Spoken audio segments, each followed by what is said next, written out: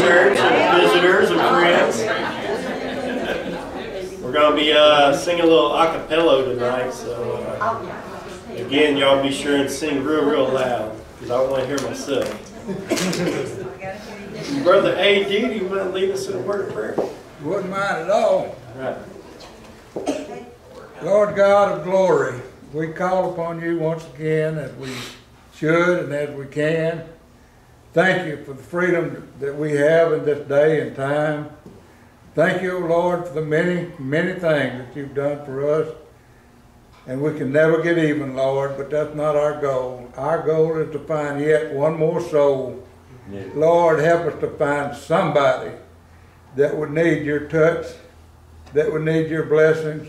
We ask you, Lord, to help us to seek and find those that are in the darkness of this world, that there is a great light that we can shine upon this evil world that people can see there's a better way than what is offered in this day and time. There are many people have been named, Lord, that need it. Your healing touch. We ask you, Lord, to touch their hearts, their souls, their bodies, Lord. Make them whole. Give them that hunger and thirst to come back to your house. Give them, Lord, that willingness to do what they, we have to do. We thank you, Lord, for all that you have done for this great day that we've had, this celebration of veterans Yeah. that has served this country and everybody that's paid attention to it and respects it and thinks and knows what's going on. We ask you, Lord, to guide and direct this country. Keep us, Lord. Help us to be that once great Christian nation that we once were. We can see your hand in the very government that we have now and keep leading our leaders. Keep them one step ahead of the evil that's around us. We ask all these things in Jesus' name. Amen. Amen. We'll get y'all to turn to page 12 in the Brown hymnal. That's right, I'm picking the songs tonight since Rockefeller in it. Don't want no curveballs thrown at me. Are you saying solo or acapella? Acapella. Acapella and solo. Everyone's singing solo. Somebody give him some See you quick. Looking well. Thank you. I can do Page- that one. Page 12, we're going to sing In the Garden. I think that's a pretty, pretty easy one for us. All right, Maestro. I come to the garden alone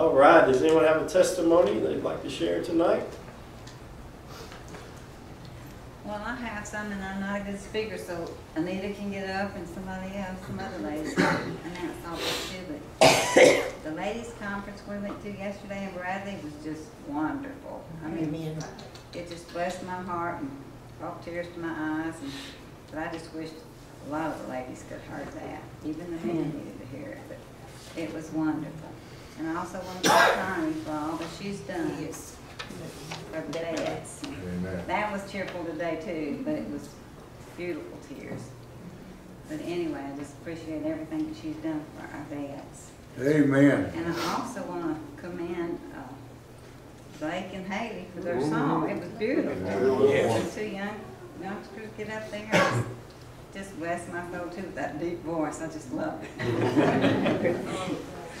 That's all I have. I love the Lord, I love my church. I too have a praise report. This morning I put my sister Joanne Clark on your prayer list. And, um, because she was facing surgery, two doctors had told her she was gonna have to have that leg amputated, that there wasn't no other way. And uh, they put her in surgery this morning, which I thought was odd on a Sunday, you know, but I guess they do things like that I mean, if it's bad. And so they put her in surgery this morning to do the surgery, and they decided it was not as bad as they first thought it was. Amen.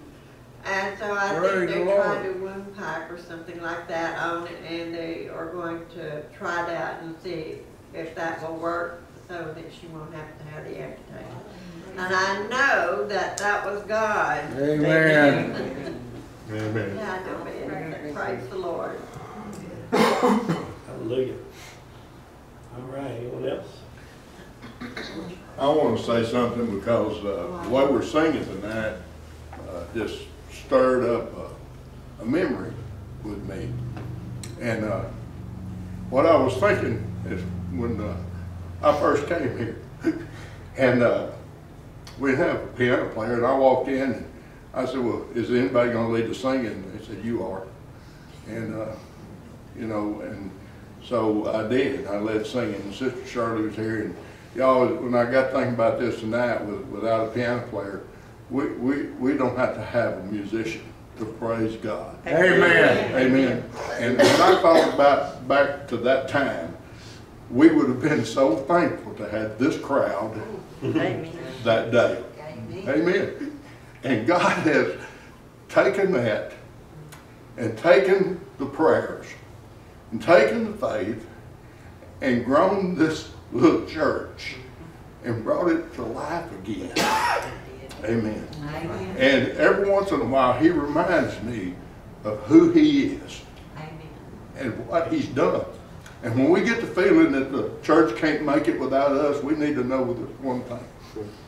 The church can make it without any one of us, Amen. but the church can't make it without Jesus Christ. Amen, brother. Amen. And he just reminded me of that while John was up here leading singing with no music. And I remember seeing that, that first day, people swaying and we'd sing one little fad and they'd clap their hands and I thought, you know, this is, this is glorifying our Lord with what we have and with who we are. And I think that he hears our voices loud and clear in glory to. Amen. Amen. Thank y'all for singing out like that and for worshiping the Lord with your hearts. All right, well, page fifty-four. And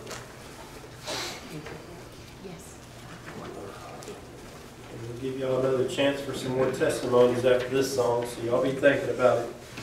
Page fifty-four, we'll sing I'll Fly Away. Some glad morning when this life is over, I'll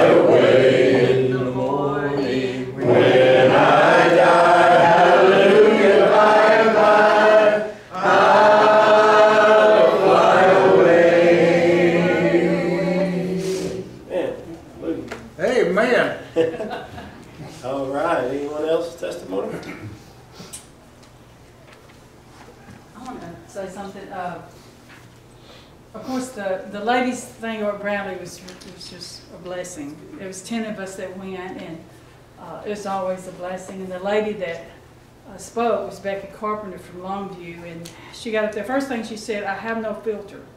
You know, I thought I can relate to this one. But anyway, what she, how she spoke and, and what she talked about was just a, was a true, true blessing. And the, and the struggles and the storms that her and her families faced. Uh, she lost her 15-year-old daughter in a, in a car wreck. And she said, you know, how your family portrait will change overnight, and that's how it was. And, you know, my heart just went out to her. You know, we face storms, and, and, and you know, and, and you can, you can kind of, from her testimony, you can, you can receive some kind of comfort and some kind of, okay, she's gone through that. And if I ever, God forbid, if any of us have to lose a child, and I know there's probably some that have, it's in here. But, you know, you can look at her life and say, she's been down that road. And she's come out of it. She come out of that storm. And so, and the whole time I was thinking about that, I was looking at Brother James Hill's jacket up here. And one of his tags, or one of his, what do you call those things? Patches, thank you, has, we paved the way. I'm thinking, the way, the way. We are going on, you know, Jesus is the way. Amen. And we are paving that way like that woman did that lost her child, that she can comfort somebody else. If you come down this road and bam, you get that phone call and you say your 15-year-old daughter was killed in a rollover. You know, how are you going to strengthen somebody when they hit that? Say, pull them aside, let me talk to you. So they can soften the blow, you know, and I don't know how you can soften that kind of blow. But, you know, our U.S. Army paved the way for the troops to come in there to make it a lot easier to get in. So are we as Christians softening the blow for our fellow Christians that's coming behind us, especially our children or grandchildren? I hope You so. know, are we softening that blow? Because we know, you know, we're getting to that age, we know that our children, grandchildren, and their children and grandchildren are going to come up on these situations. And how are they going to deal with it? You know, are we just going to say, "But I, I went through it, they can too? No. We've got to, you know, put our arms around them, comfort them. Amen. And, you know, she made a remark, she said, when I was in that storm, she said, it lasted for years. She said, but Jesus was in that storm with, with me, calming me. I was still in that storm, but he was in there with me, calming me through it. Yes. And, you know, and she, and she said, you never get over. Even after three years of her, of her daughter's death, they sold the house. She had to go up in the attic. And she said there was trash bags all over the place.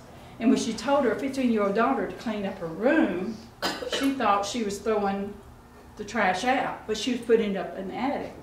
So when she went up in the attic to clean the attic out to get the house sold, it was like that flood went, you know, all of, all the memories come back of her daughter. She said she had a war room experience in her attic. She said if neighbors heard her, they probably would should have called on her. But you know, she said every bag she went through was memories of her 15-year-old daughter that she lost. And so she said there was people that God put in her life that you know helps you know soften that blow. And she said, and so she she went through life living a Christian life, life but not believing it. And that hit me. Because a lot of us are just going through the motions. But she said, when I started living life, is when my 15 year old daughter died. And she said, I started believing, and she said, I had to turn it over to the Lord. Amen. And she said, I was living a Christian life. We were Sunday school teachers, we were working in the church, but when my 15 year old daughter died, that's when I started believing that there is a God because I had to to get me through that. And I thought, you know, what a testimony mm. that that woman had. You know, to look at your 15 year old daughter and you'll never see her again, but she said, no, she's not in my past. She's in my future. She said, one day I will see her again. Yes. And so, you know, just that comfort of those words that she had, I don't know how many times she shared that with me, but I know it touched me. I've not lost a 15 year old daughter, but, you know, who knows what we'll be facing. You're Amen. a phone call away from your whole life being touched upside down. And what was so bad, this woman was a principal at the Quinton, Quinton, Quitman, Quitman, Quitman School. I don't know if y'all remember this, happened about ten years ago. That there were six students, there was an SUV rollover, and she was the only one that was killed. They were going or coming from an FFA meeting or something. And uh, when she got the phone call at the school, of course, they had to tell her that there was a rollover and one of, there was a fatality. And she knew her daughter was in that SUV. And she, it- she said that mother instinct hit her in the gut. She knew it was her daughter. And so when she got, she had to show up at the, at the wreck. And, uh, you know, it was, you know, how, how do you, I mean, there's no words. You know, there's no words of comfort, there's no words of encouragement. You know, how do you comfort somebody like that? Only God can. And she said that's the only thing that, that kept her from her, her just going completely crazy. Is and she said I jumped into the Word, I started praying, and she said that's what got me out. She said, Have I gotten over it? No, it's been almost it'll be ten years in February. I had Googled it because I wanted a little bit more information about it. But uh, you know, it's just something. But we all face those times in life. And are we going to just stop and say, this is the end of the road for me? Or like Brother James Hill's uh, patch up here, we're going to pave the way. We hit that spot in the road that knocked us flat on our face. Are we going to get up? And like, you know, there's a little thing going on Facebook, you know, I threw the towel in, but Jesus picked that towel up, threw it back at me, and said, girl, get up and go do it again. Get after it again. Are we're just going to give up on life? You can't. Lord don't give up on us. So we got to keep going and paving, making it easier for those that's coming behind us. Yes. To make it easier, say, you can do it. You can do it. It's worth it. It's worth every every you know every anguish, every moment, every every trial, every storm that you go through. is worth it because on the other side of that storm, there's sunshine. And Amen. so I love this church. I love the the uh, the veterans thing that we had this morning. Uh, Connie and I come from a long line of veterans on my mom's side, and it means the world to me that these men took out of their time to serve our country And women. and women. And um, and you know back then when they you know they didn't have a choice. When you turned 18, you know you enlisted and you was hoping your your name wouldn't come up or your number wouldn't come up. You know, and if it did, you you went in. There's no ifs ands or buts about it. And so uh, you know that generation of men, I look at it and my hats off to you. I mean y'all y'all just y'all stepped up. You you you and, and, went in and done what you had to do. And, and I'm just so thankful uh, for that generation.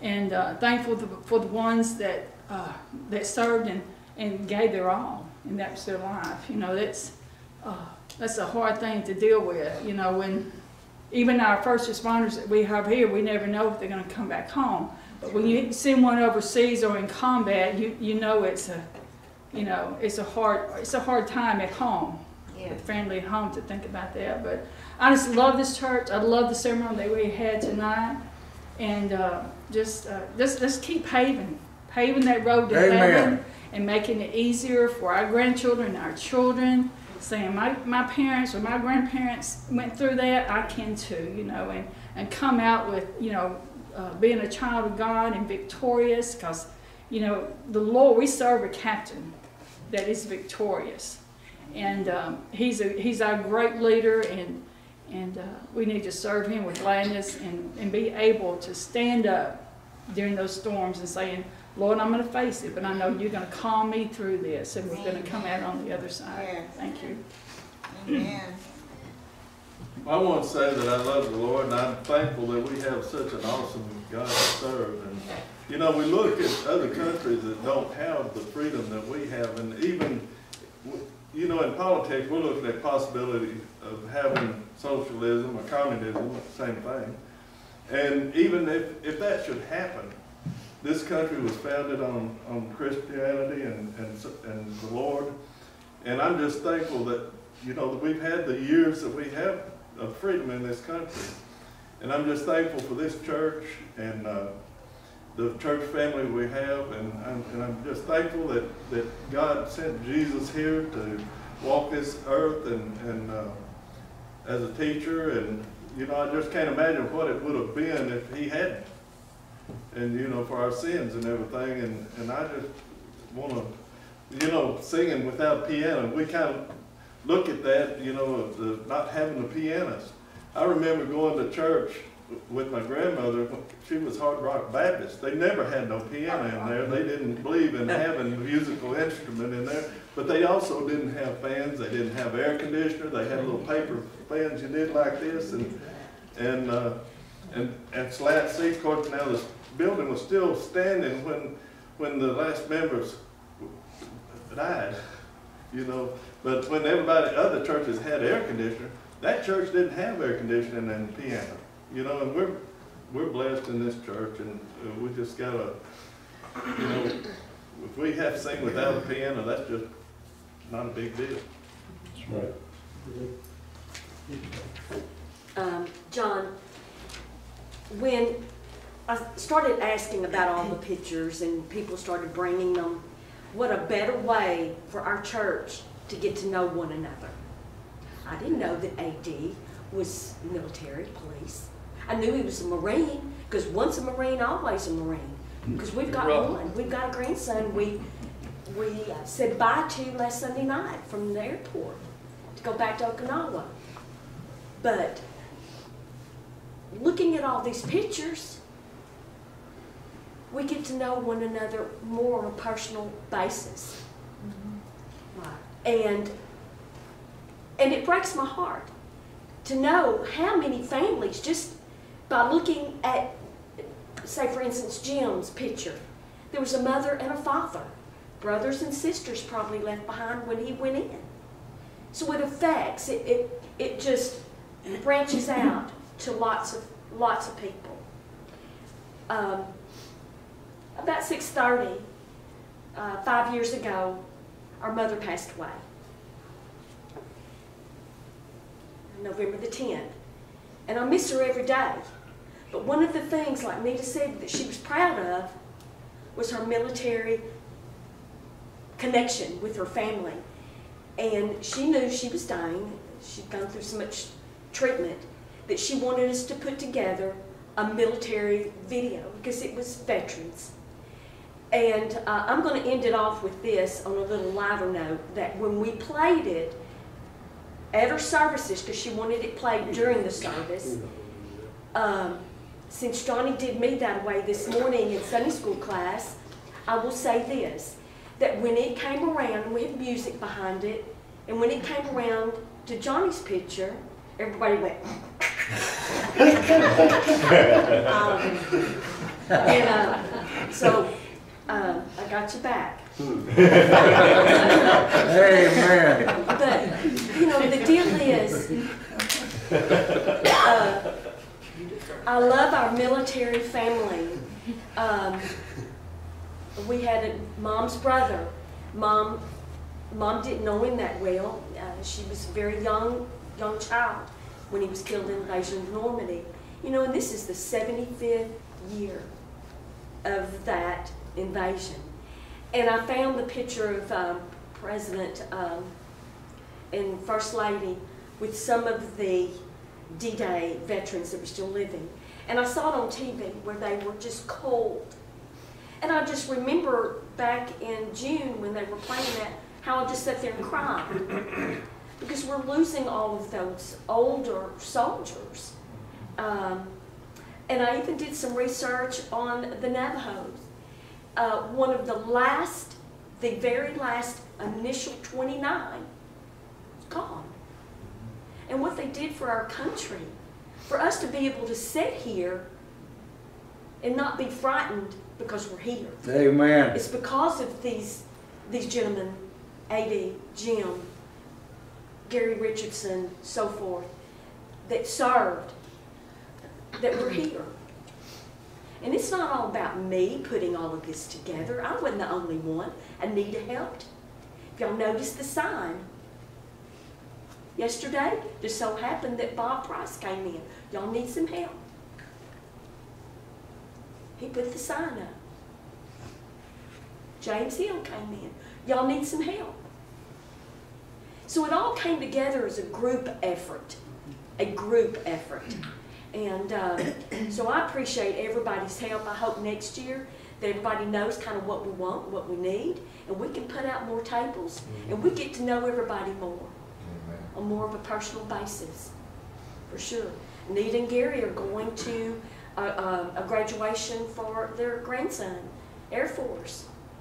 So we went to San Diego and watched Adam, and I stood there. It was cold, raining, and I just cried. It was such an emotional event. So I appreciate our military. I, I do. I appreciate them each and every one. And we can't thank you guys enough. I mean, this is nothing. I, I felt that it was just, what could we do more? And uh, there's not enough that we can do. And that's the same way with our Lord Jesus Christ. We can't do enough. We can't say, I love you enough. We can't say thank you enough for what he's done for us. And, uh, but guys, I appreciate all y'all's services. Miss Jean is here, our female that served. And um, thank you all so much for helping out and getting this put together. And I usually don't say anything, so I'll just keep it real short. You know, looking at this table up here and all these pictures and different, different services represented and everything. I never was in service or several of us haven't been, but, uh, I had a younger brother was, he was over in Vietnam. But, uh, you know, I, I'm sure some churches have gotten away from even recognizing their veterans and everything. But some of you I think personally already, some of you I haven't, but I do want to join like with everybody else. I appreciate all of our servicemen, the ones that serve for, for our nation. Uh, younger brother, he never had really talked about over there in Vietnam. I saw, I saw just a few pictures one time. He was showing me just a few pictures and, uh, there's one body on the ground and it had little dark spots all over his body. And uh, I said, I, I just made the comment to him. I said, man, I said, just look at the flies that's all over that guy's body. He said, that's not flies. He said, that's bullet holes. And just body really full. So I can't, I can't say, you know, some people have lost a child and they can comfort somebody that they know what it's going, you know, they can comfort somebody else that has lost a child. But I couldn't do that. I couldn't tell a person, I know what you're going through, if, you know, if they've lost a child, 'cause I never have lost a child or anything. And, uh, for what our military men and women have gone through, unless you've experienced it, I, I know I couldn't even begin to comprehend what they've gone through. So once again, I, I join with everybody else, thanking all the men and women that have served their nation. Amen, amen.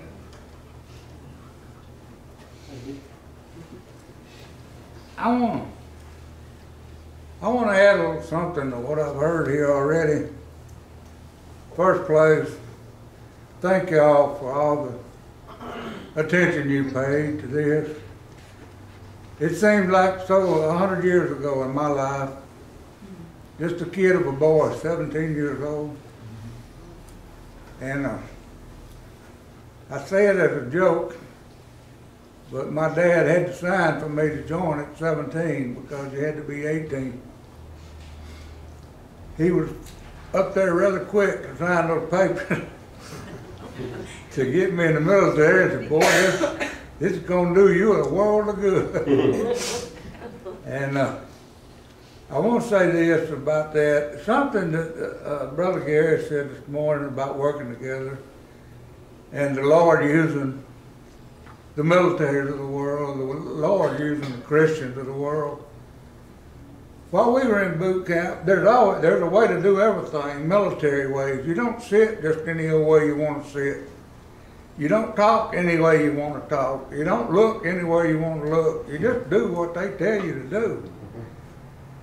And while we were sitting on the ground one day, I looked out there in the middle of us and there was a great big log, more like a telephone pole, but bigger. And I don't know, it must have been twenty foot long. And that old sergeant said, I need hundred of you boys, I mean, ten of you boys that can lift a hundred pounds over your head. Well, I'll get some of that, so there was ten of us that lifted our hands. He said, that log weighs a thousand pounds. If ten of you pick up a hundred pounds each, you can pick it up. Well, I'm gonna tell you right now, I believe it was more like two thousand pounds. But we did manage, struggling and grunting and straining to get that thing off the ground. And the beauty part is he had us walk with it. And we're on kind of hilly ground. And everywhere you went across a little dip, the short people couldn't touch the ground. so somebody had to take up the slack. so th- this is a, a, a marine training tradition. And they'll tell you point blank that we planned it this way. We mm-hmm. want you to understand mm-hmm. and know what you've got to do. And it's not always going to be exactly like you want it to be. But I, I said all that to say that that is a training session that we can apply to this church. Mm-hmm. If we all pull together and everybody will seek to find one person that needs the Lord today, we can work together and get that person in soul saved. I've heard Brother Gary say it time and time again. It don't necessarily have to be this church. Just get in a church somewhere while there's still time. The Lord's not going to tarry with men's souls forever. There's coming a day when He's going to just say, okay, that's it. And those that got in, got in, and those that didn't, it's too bad. But I brought that up about that log that we were carrying because it, it reminds me of how we have to be united. We have to all stick together. We have to all believe one thing, and that's the Word of God. If you're off on some rabbit trail somewhere, believing something else, or listening to some other teachings, you're making a sad mistake. I've got books at home. I, I didn't even look for them for years that they have every excuse in the world for why the world's like it is to now. None of them agree with the Word of God. They're even teaching that after the flood, they want to acknowledge, I've read these books, they want to acknowledge the existence of Noah, but that something happened, that this world was flooded, and that's when disease came into the world was with all the potholes of water and stagnation and the germs and the, that, if you'll read that kind of stuff, I'm telling you, they'll lead you off down a rabbit trail. It's nothing but darkness. Well, I just laughed at it, but I, I want to go back to that law. Once you get it cleared, the heavy part off the ground, it's a piece of cake. You just grinned at everybody because we did it. And I'm telling you, this church can do the same thing. Everybody just toe the line and pull, do your part, and it'll work out just as smooth as it can be. We're blessed to have the preacher that we have. We're blessed to have the piano player we have. Excuse me. And we're certainly blessed to have each other. Amen. I, I can't say enough about how how good it is to have people like y'all around to know personally. Some of them I'm, I'm getting to know better. But it, it's a it's a brotherhood that's formed. Somebody said once Marine, always Marine. If you'd have been through what I have, you'd understand what that's all about. I wouldn't I wouldn't forsake another Marine for nothing. But that's just the teachings that they have, and we've got to have that attitude about our Lord. I wouldn't give my Lord up for anything. I never want to go back to those days. I don't want to see what this world has to offer. I don't want to be a part of it anymore. And that's the, where the Satan wants to get into your life and tell you, well, you think you're better than everybody else. And all that stuff starts And there's nothing but the praise of Lord, of our Lord and Savior that'll take it out of your mind and it'll help you to work it out. I thank y'all for everything you've done today. I, I can't begin to tell you how much it stirred me up to see a church that recognizes and appreciates the veterans. And I, I almost said it this morning. If you don't appreciate our flag and you don't appreciate our national anthem, you don't deserve to be here. Amen. And I, I hate for that to sound hateful as it does, but I'm serious. You don't appreciate what's been sacrificed for you. You're in a sad situation. Amen. Well, uh, I've just about said enough, and I, I thank you. A- All this, uh, I look at it as a all expense paid vacation. All, all the medical assistance you needed, all the meals you wanted, three times a day. Place to sleep, get up and take care of business. And uh, I'll tell you this, I did it then as a seventeen year old. And you could give me a million bucks to go back to seventeen and do it over. But I thank you, church, for what you've done today and I appreciate it. All right, anyone else? The scary thing about learning about him is, is I've been picking on Brother AD since I met him, and I didn't know he'd know nine different ways to kill you with a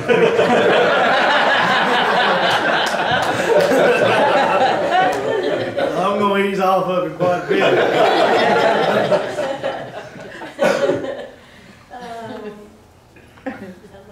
All right, one more song here, page 99. We're going to sing the first, third, and fifth verse of Trust and Obey. When we walk with the Lord in the light of His Word, what a glory He sheds on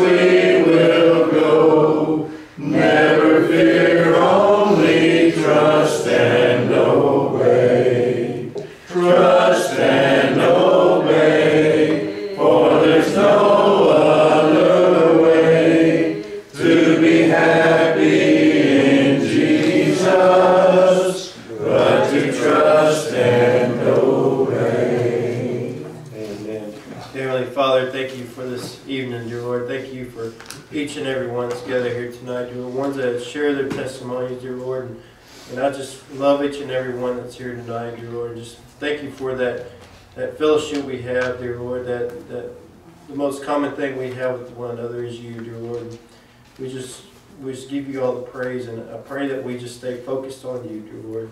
We love you so much. In Jesus' name, amen. Amen. God bless you all, and thank you for being here tonight. We're gonna do a Sunday night service just a little bit different, and I know it's getting late. And I thank God for all the testimonies and all that you shared tonight.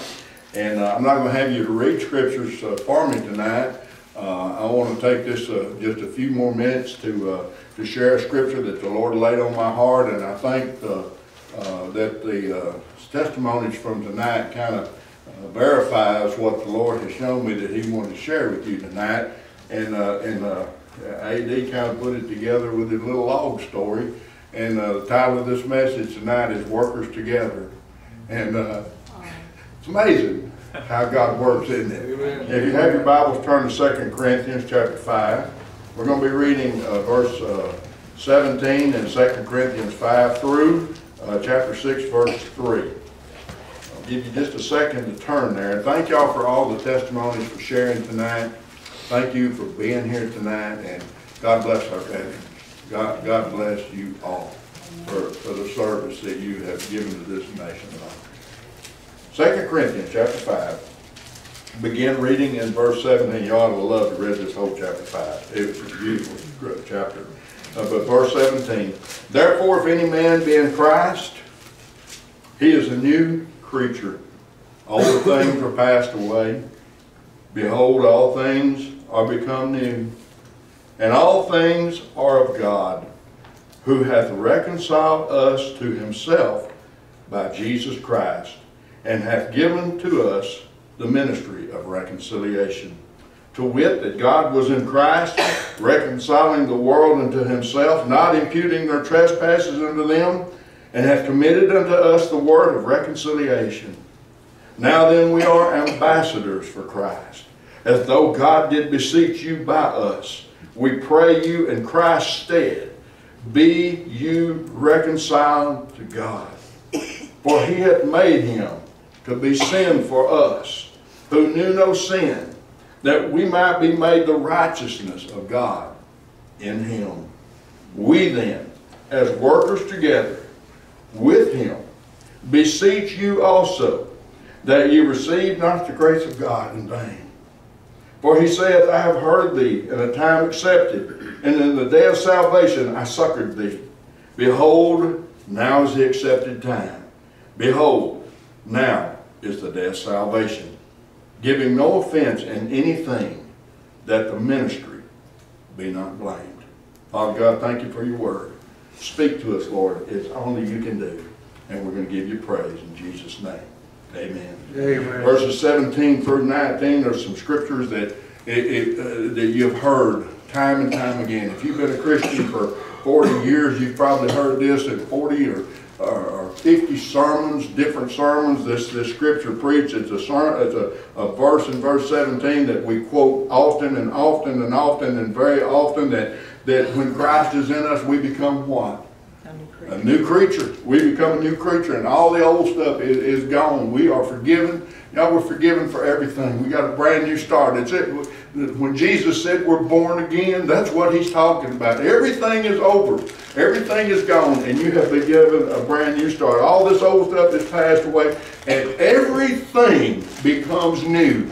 One of the pleasures of being a pastor and a preacher is seeing someone come to the, the, saving grace of the Lord Jesus Christ and see what it does in their lives. Amen. How it changes their lives. I've seen uh, children get saved, and you can tell, even in a child, the change that God has, has, has provided in their lives and the change that begins to take place in their lives. It's a beautiful thing to see. But verse 18 is, is not the one we quote. I want you to look at this eh, eh, because sometimes we read these verses and we miss things. And look at what verse 18 says. And all things are of God. Everything's from God. Now look at what God has done. He hath reconciled us to himself. Think about that. God reconciled me and you back to himself. What had separated us? Sin. Sin in the lostness of humanity had separated us from our holy God who created man and made us in his image and, in the, and the, the, what he wanted most in, in everything that goes on in this world is to be able to call us his sons and his daughters again. And the Bible says that he reconciled us back to himself. How did he do this? Through his son, Jesus Christ. Praise God. Yeah. Praise God for Jesus Christ. That we have a heavenly Father that loves us so much that He gave us His only begotten Son. And when you read this scripture, all of those other scriptures that we like to quote make a lot more sense, don't they? It makes the sense as to why Jesus Christ did what He did and what prompted Him to do what He did and what empowered Him to do it despite the fact that He didn't really want to do it. He did it anyway. Why? so he could he could provide the means to reconcile us back to a holy righteous supreme god. Praise god. We ought to shout every time we think about this. So he reconciled us to himself by jesus christ and look at what he did. When he reconciled us back to himself through jesus christ the bible says right here he gave us something. Look at it I told you, I tell you all the time. You know, I know I'm a minister. People call preachers a minister. Brother Petty, you're a, Brother Steve, you're, you're a minister. But let me tell you what, so are you, and you, and you, and you, and you. Because when you have received Jesus Christ as your Savior and God reconciled you back into His bosom through the, through the death and resurrection of His Son, He gave you something, He calls it here the ministry of reconciliation.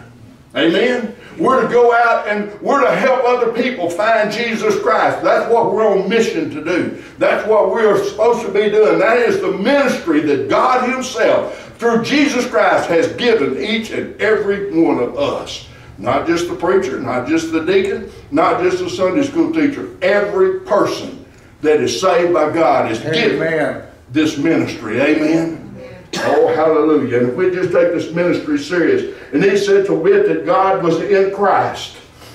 Y'all want to know why Christ could do what he did? He was God. Amen. Amen. He was God. That he was in Christ, reconciling the world unto himself, not imputing their trespasses unto them. Now think about that. And have committed unto us the word of reconciliation. And so we, he has reconciled us to himself through Jesus Christ. He's given us the ministry of reconciliation. He was in God, he was uh, in Christ, he's the one that empowered this whole thing, and he decided not to count our sins against us. Because why did he have to do that? because sin separates us from him. Amen? And he had to have a way to take that sin and cast it away from us so that we could come before him, listen to me, holy, righteous, and pure. Amen. And he knew that we were not righteous men or women, that we were born in sin, that we were shapen in iniquity. And so the Bible says that he came up with this, this plan. For God so loved the world that he gave us his only begotten Son Amen, brother. That whosoever believeth in him should not perish, but have everlasting life. Y'all, he gave you a promise when you said you believe in Jesus and you received Christ into your, into your life, into your heart, into your being. He saves you and he does not impute iniquity against you. Now listen to me. You said, well, you know what? How many of you ever feel worthy of God? How many of you ever feel righteous and holy? The Bible says we don't. We, we don't. We don't have to even read it in the Bible. We don't feel that way. Not a single one of us. I don't feel worthy to stand before you right now. I don't stand, I don't feel worthy to proclaim the name of Jesus, to even say the name of Jesus. I feel like those Israelites who, that wouldn't even say the word, uh, the, the name of God out loud. Amen. We're not worthy of that. But he says, I've done something to make you worthy. I want you to listen to this. He's done something to make us worthy. And so he's made us ambassadors. That means that we are now his representatives.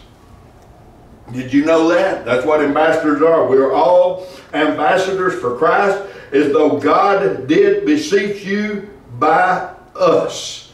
We pray you in Christ's stead, be you reconciled to God. And I want you to listen to that right there, and then to get to the, the other part about the sin. Listen to me. He gave you a command right here. I've told y'all this time and time again, God don't force himself on you. He says right here that you have the responsibility of making yourself reconciled to God through his son. It's a decision that you have to make for yourself. It's a decision that you have to make if you want to serve God or not serve God. You want to live for God or not live for God. If you want to be his, his ambassador or not be his, his ambassador. He says right here, he says, be you reconciled to God. Why?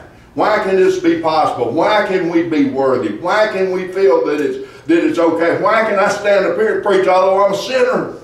Look at the next verse, verse 21. For he hath made him that knew no sin to be sin for us. And because Jesus Christ became my sin, I can stand here. And so can you. You can stand up and testify. Praise the name of God. You can stand up and testify and tell what great things He's done in your life. Why? Because the one that never sinned at all became mine and your sin. How could He find a way to not impute your sin against you? Through Jesus Christ, the one who knew no sin. And He became sin for each and every one of us. He that knew no sin. Listen to this. Why did He do that? that we may might be made the righteousness of God in him. Think about that. You know why we're righteous? Because Jesus is righteous. Amen. You know why our sin is not imputed against us? It's because Jesus has died for that sin and bled for that sin and covered that sin and has forgiven us. Why our righteousness that are filthy rags according to the word of God, that are filthy before God. But when you put Jesus in the mix, he takes away our filthiness. And he makes us sons of God. Amen? He reconciles us back to his Father, is what he's done for us. And the Lord God accepts that from him. Y'all, I had a, old preacher, I don't even like him no more, named Gene Parker. he was my preacher for 20-something years. And he said to me one time, I was questioning about how we're going to stand before God, and, and, uh, and the sin is still in our lives. And, and he said, I'm going to tell you, I have, a, I've I have a vision about that. He said, I can see us standing before God, or bowed before God.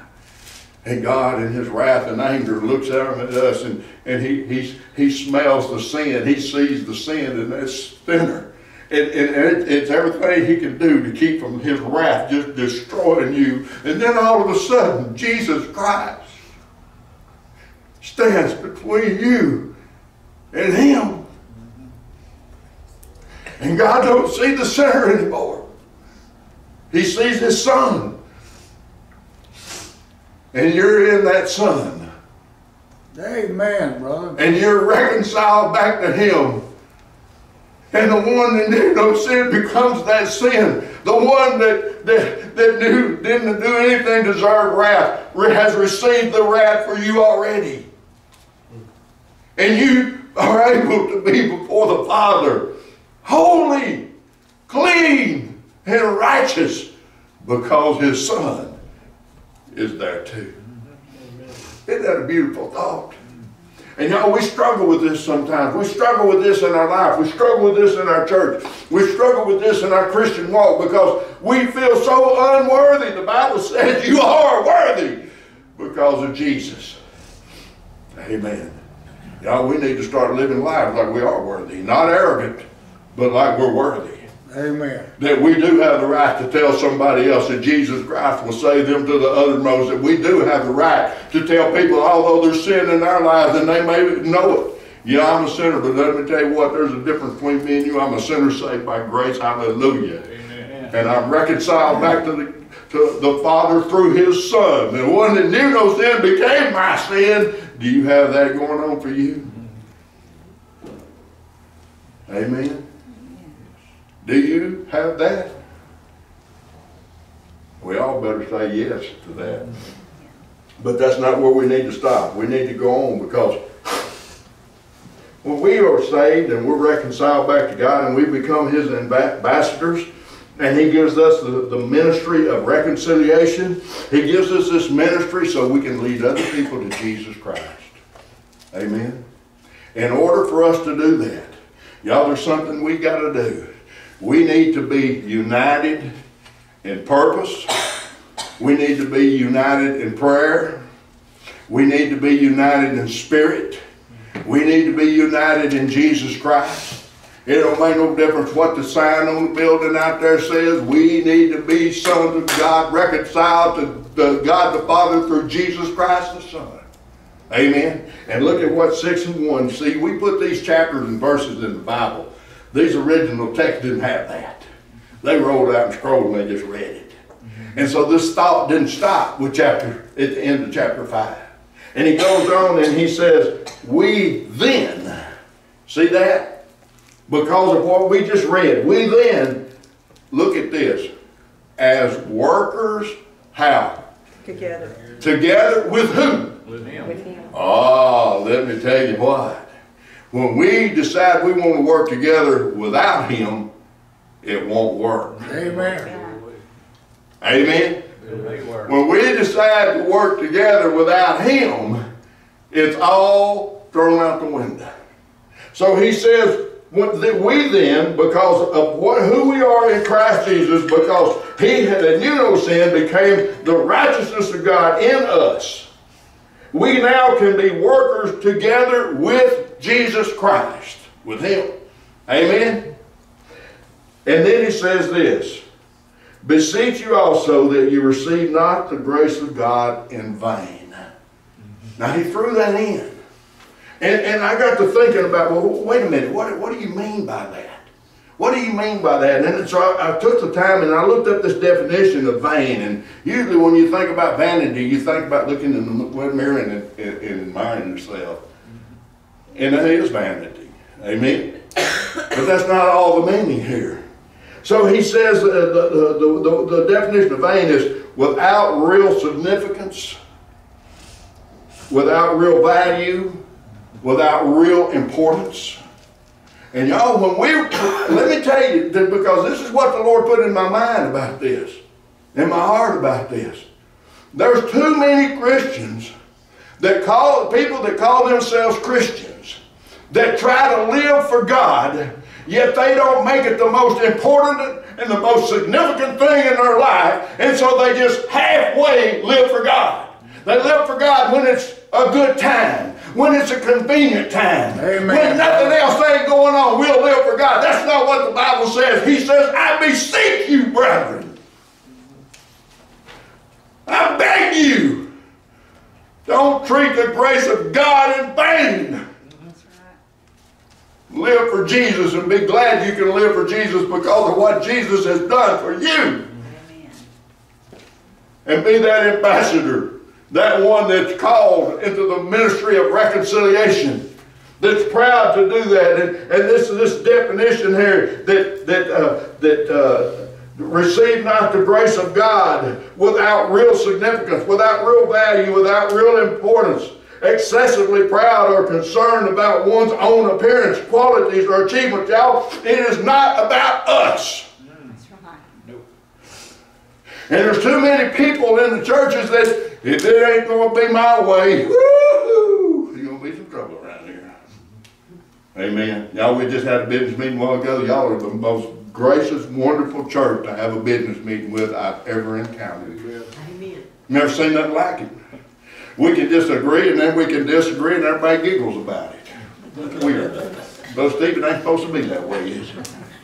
You know why it's that way? Because we love Jesus and we don't really give a hoot. Amen? Amen. What difference does it make how we do it? Let's just get her done. Yeah. Amen? Hey, if, if somebody said, let's do it this way, let's find a way to do it. Amen? Because why? Because we're working together and we're working in Him and it's going to work that way. Amen. All we got to do is keep from arguing, keep from fighting, and keep from trying to do everything our way and do it His way. We're good now. Amen. Amen. Tote that. Amen. So he said, I, I don't want you to treat the, uh, the, and not to receive the grace of God in vain. receive it and be proud, be glad, and be willing to share it selflessly, not selfishly. Amen? That's what he's saying to us. I know I got to move on, just about through. And then he says this, For I've heard thee in a time accepted, and in the day of salvation that I succored thee. Now, when I think about succored, I had to think about that word for a while, uh, Troy. Because, you know, everything, the only thing I know about sucker is sucker punch. We don't know, none of us want that, do we? But he said, I succored thee. Behold, now is the accepted time. Behold, now is the day of salvation. So I looked up this definition too. Boy, this Arkansas boy is full of wisdom today. Amen.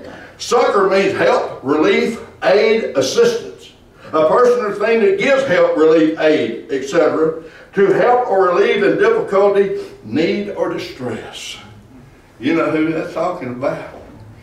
Jesus Christ. He is, he is our aid. He is our ever-present help in time of need. Do you believe that? Amen. He is the one who succors us, who gives us this aid, who gives us this salvation. He is the captain of our salvation, and He's given us all of Himself. And He's given us everything we need. And then it says here, He said, I have given you everything you need. I have given you all the assistance. I've given you all the relief. I've given you all the aid that you need. That's what He said. I have succored thee. That's what that means.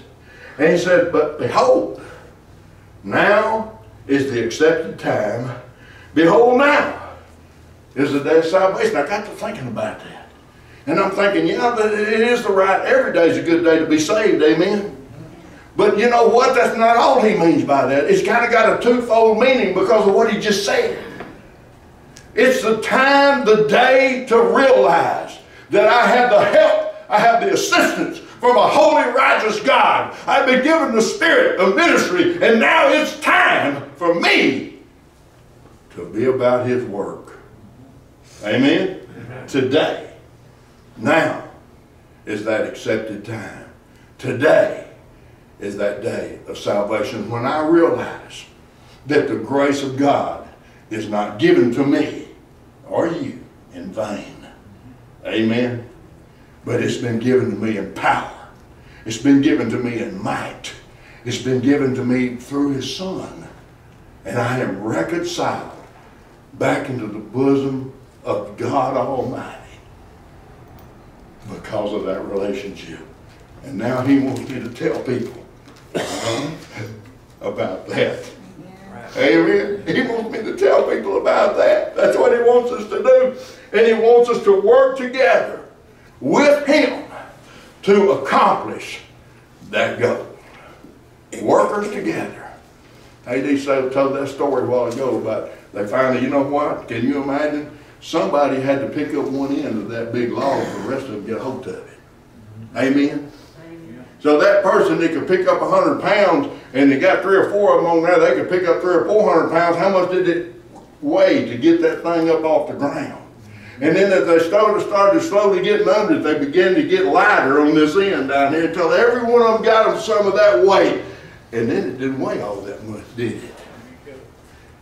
And then the funny little story he told when they went over a dip and the short ones were hanging, they had to hold more. That's the way the life of the church is. That's the way we work together. When one stumbles and falls, we pick them up go. and keep on walking. Amen. Amen. When one of them can't carry the load, you carry that load for them. Amen. You help them out, but you never quit working. You never quit being the ambassadors. You never quit working the ministry of reconciliation. And then he says in verse 3 if we will do this, there will be no reason for anybody to take offense at us. Listen to this giving no offense in anything that the ministry be not blamed. Y'all, it's time that people quit saying that church is full of hypocrites. Amen. You know, that's why the church has said that, that they, people say that about the church today, because we're not living it that way right there. Preacher. Amen. We need the people to look at the church and say, hey, them people live for Jesus right there. Those people, they got the spirit. Those people right there, they help. Those people right there are working together. They got something going on there. Let's go see what it is. Let's talk to one of them, see what's going on there. And y'all, that is the ministry of reconciliation that's given to every one of us that has been reconciled to the Father by the Son. Amen. God bless you. I love y'all. Would you stand, please?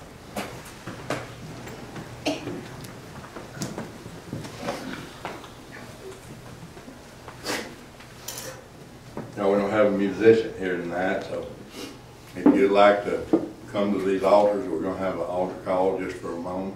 Bow your heads, please, close your eyes. Pray that you'd be thinking about what the scriptures told us tonight what thus says the Word of God, what it tells us, what He has told us tonight.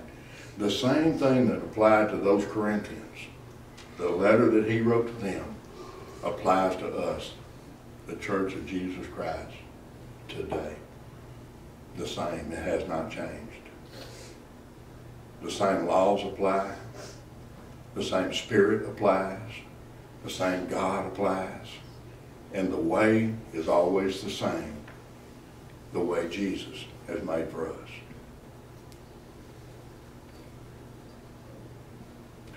Let's don't forget Brother Bill Woods that called today, told me that he wasn't feeling good, the reason he wasn't here. Amen. Bless him, Lord. And he told, told me, he said, tell everybody I love them. And I would have loved to have been there for the, the celebration. I just wasn't able to go today. Remember him in our Yes, prayers. touch him, Lord. Remember Bob? Bob left today to go to Houston. Amen. He's had MD Anderson. He, he should be there about now. And, uh, that, that all goes well. And anyone else that you can think of that needs prayer, be in prayer for each other. Let's work together. Let's work together through all this with each other, holding each other up, lifting one another up, spurring one another on. Amen. Let's be this church that he has told us about tonight. Let's be the ministers of reconciliation between lost man and God. Brother Steve, would you pray for us, please? Sure. Heavenly Father, again, we praise you. We lift every one of the prayers of the that's on the hearts of these saints, soldiers in a mighty army. We pray that we would serve you in spirit and truth. We pray you, as you're walking up and down the aisle of this church today, right now, And we would follow you to the ends of the earth. We pray that you would lead us and guide us as soldiers in a mighty army of God, that we might be led to others out there, the last, the least, the lost, wherever they might be, that we might be the light. They might see Amen, you in us. That Jesus, we would be the imitators of Jesus today. And they would see you high and lifted up. That when eyes see our eyes, they would see the light of the Most High shining in us. Father, we thank you and praise you for your word, the testimonies, the men that are serving today in many places overseas. We pray for those chaplains that reach out and touch and to make an impact on those soldiers and sailors wherever they might be, whatever service wing it is. And Father, we pray for the mighty army that you provided in the churches throughout the whole world, that we might rise up and be the church that you called us to be Amen, brother. and that we might speak the truth, led by the power of the Holy Spirit. And people would be saved, reconciled back to you. That we might follow you until that day when you come. And we see the eastern sky breaking and we're out of here. But we pray for those that they are outside the walls of churches. We pray that we might be out there and outside the walls of the church talking to them. And we pray that they would see and hear as the Holy Spirit moves in them. They'll make that decision and come to you. Father, we thank you that somebody did that for us. And we came. And we pray that we can do the same. So we lift it all up to you. And we're following you only. In the name of Jesus, amen. Amen, brother. Thank you. Praise the Lord. Praise the Lord. Wednesday night at